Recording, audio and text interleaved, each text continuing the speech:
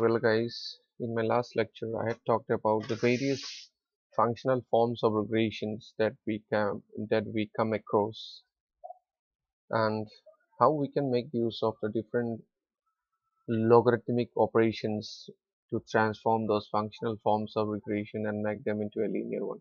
Well like I said in economics we don't have all the variables that are that are only linearly related to each other. So therefore we need to resort to some kind of methods or techniques to transform them and make them into a linear one uh, for our analysis and so that we can make use of the OLS operations in our regression analysis. Like uh, we use the semi-log operations or log level operations or the log log operations and we also uh, I had also talked about the reciprocal operations that is uh, normally done in quantity demanded and the price of course. So while doing this we have to be very careful like how to interpret those data after the transformation. The interpretation is of very important that you need to know. So that's why I have uh, come up with this video to show you with some of the most commonly used uh, uh, forms of uh, functional forms that we do and after that how to interpret those results that we are getting from the functional forms of regression that we do generally do in our regression analysis.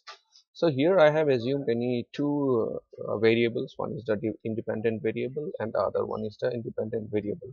Of course beta 1 and beta 2 talks about the parameters and ui is your disturbance term well suppose you have level and level or we say like dependent variable and one independent variable. So your dependent is y and your independent variable is say suppose say x.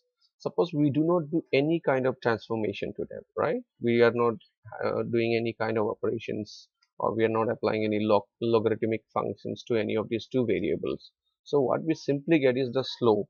Or suppose say I take an uh, uh, relationship I'm saying like consumption depends on income. So in this so in that case how will you interpret this?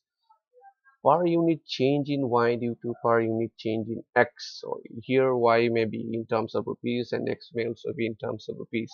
And since we are not doing any kind of transformation remember that right? So that's where that's why we are saying per unit change. Or 1 rupees or 2 rupees increase in consumption due to 1 rupees increase in income the absolute values right? So that's why we go with interpreting like per unit change in y due to per unit change in x or 1 1 rupees increase in consumption due to 1 rupees increase in consumption. Well suppose now we have this kind of transformation like we have transformed this x variable taking the log of this x. And here we are talking about suppose a relationship like this like grades of the students are affected by the pocket money that they get from their parents.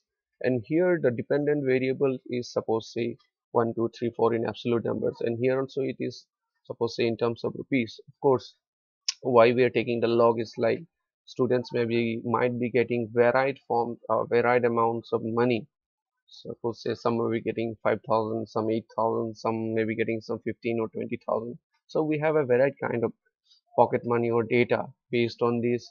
So in order to reduce the variability like i said we use the log operations to reduce the variability or to make the data concise and precise uh, in order to reduce the standard deviation. We make use of that anyway how will you interpret the data is the per unit change in y due to percentage change in x. So once you take the log transformation for any data that will become that will no more become the per unit change. It will be turn into percentage change in x so here what we how will you interpret like is the grades of the student increases or decreases by one uh, one or two grades due to the percentage change in the pocket money that the student is getting from the parents. That is how we will interpret like no more like we will not say like it is the per unit change in the pocket money right? Now the third case suppose we are having the third case like this. Suppose say we are here we are transforming y not the x okay? Y means the dependent variable. We are transforming the dependent variable. And here we are not transforming the independent variable.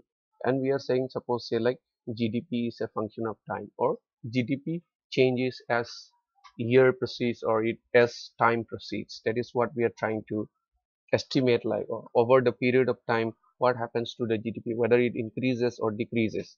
So since I have taken the log of y that means the GDP data or I mean to reduce the variability since GDP is a very huge number right in millions and trillions. So to make it precise or to make it small I'm trying to I have taken the log of this or we generally take the log values of that. So now here we will mean like the percentage change or the percentage increase in the decrease of GDP is affected by the increase over time or over time.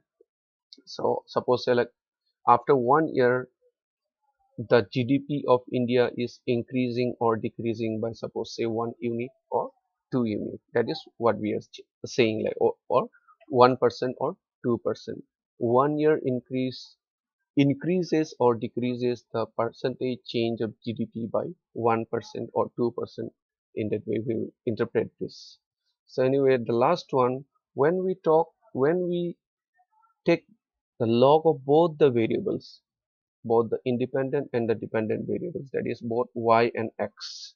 So how we how we will interpret this or our model looks like this? That is we are taking the log and log of both the dependent and the independent variables. So suppose say we are here we are applying it to our suppose say like the Cobb-Douglas production function. Here here we are saying like is mm, the output of a production farm or unit is being affected by the capital or labor inputs over a period of time so now to reduce the variability again in the outputs as well as the, the inputs of capital and labor of course you know about b1 and b2 which indicates about elasticity of substitution that a firm may be making in terms of capital and labor respectively.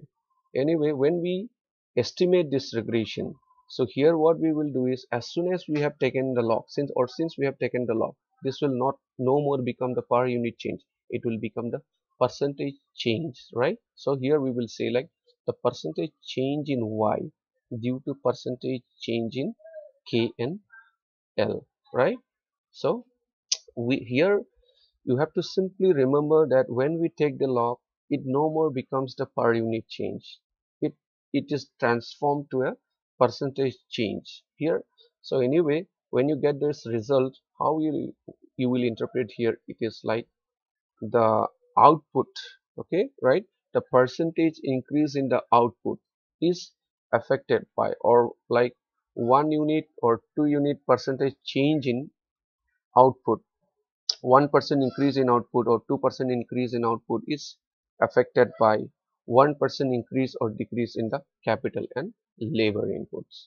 That's how you, you, you should be interpreting when you take the log values uh, by transforming your raw data into a functional form of regression and you're making use of it to analyze the data using a multiple regression model well guys i hope it is clear to you and anyway if you have any uh, thing to ask like please feel free to talk to me over youtube or you can you can talk to me in my mail or you can personally whatsapp me in my phone number or the contact numbers that i have already provided in a number of videos as well.